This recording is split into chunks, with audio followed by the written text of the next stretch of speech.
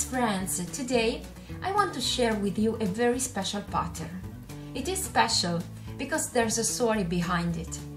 A Beads friend on Facebook, Valerie Fanning, I hope my pronunciation is correct, contacted me and asked me to share this specific pattern she worked on with all of you. And of course, I've been more than glad to accept. The pattern is a particular version of the Russian spiral. This is a classic Russian spiral. You can see that all the stripes go on the same direction. Valerie's Russian spiral has crossing stripes. Amazing! The pattern is very easy to make, but for experience, I know that this kind of project requires patience, a lot of patience and a lot of samples to be done. So, I hope you will appreciate Valerie's effort and kindness for sharing her work with all of us as much as I do. To create this crossing stripes Russian spiral, I've used size 8 and size 11 seed beads. But once you understand the concept under the pattern, you can combine different sizes of beads.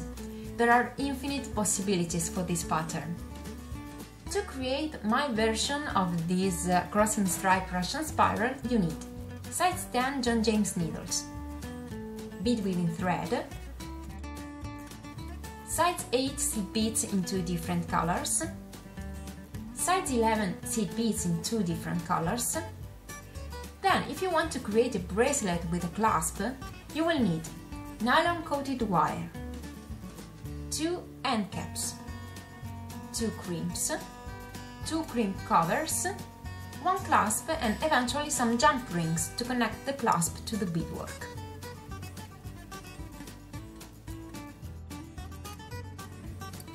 Size 8 seed bead at the end of the thread as a stopping bead. Make a knot on the bead to fix the bead on the thread.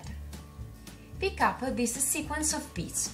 2 size 11, 1 size 8, 2 size 11, 1 size 8, 2 size 11, 1 size 8 and 2 size 11. Sew through the stopping bead and all the beads of the sequence to close the working around. Go outside from the first size 11 bead after one of the size 8 seed bead.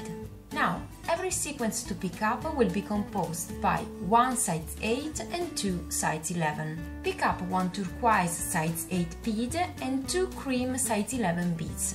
Then, sew through the first size 11 seed bead after the next size 8. Choosing the right color is very easy. The size 8 bead must have the same color of the size 8 bead before the one you were starting from, while the two size 11 beads must have the same color of the bead you are going to sew through. Again, pick up a new sequence. The size 8 bead before the one I'm starting from is bronze, so I pick up a bronze bead. And I also pick up two pink size 11 beads because I have to sew through this pink bead here. I want to show you again the same step. I pick up the size 8 bead in the same color the one before the bead I'm going out. Then, since I have to sew through this size 11 bead here, I pick up two size 11 beads in the same color. Now we have to make the last step of the round. Pick up the bronze size 8 bead and two pink size 11 beads. Then we have to sew through the size 11 bead after the next size 8. So this is the next size 8. So we have to sew through this bead here. To be ready to start another round, sew also through the next size 8 and size 11 beads. At this point, we have to repeat the same steps. Choose the right sequence and sew through the size 11 bead after the next size 8 and go on like this until the end of the round. Remember to pay attention at every last step of the round. Here we are, another example. I've just picked up my sequence and then I sew through the size 11 bead after the next size 8. And I also sew through the next two beads to be ready to start another round. Once you have reached the length you need for the spiral, close the beadwork sewing through the beads several times until you feel that the thread is fixed on the beadwork and then you can tie off the thread. Cut a piece of nylon coated wire 10 cm longer than the spiral. Put a crimp at the end of the nylon coated wire. Make an eye at the end of it, sewing through the same crimp and then close the crimp using some pliers. Put the end cap and the beadwork on the wire. Add the second end cap and the crimp.